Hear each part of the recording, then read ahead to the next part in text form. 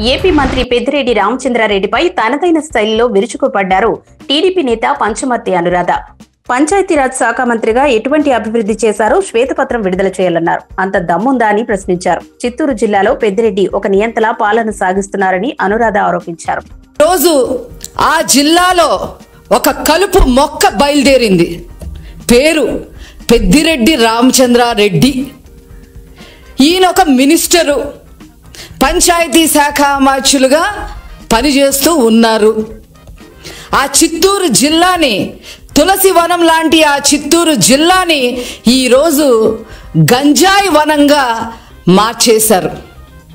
అభివృద్ధి గురించి మాట్లాడే దమ్ము అతనికి లేదు. బడుగు బలహీన వర్గాలని కాపాడే దమ్ము ధైర్యం అతనికి లేదు.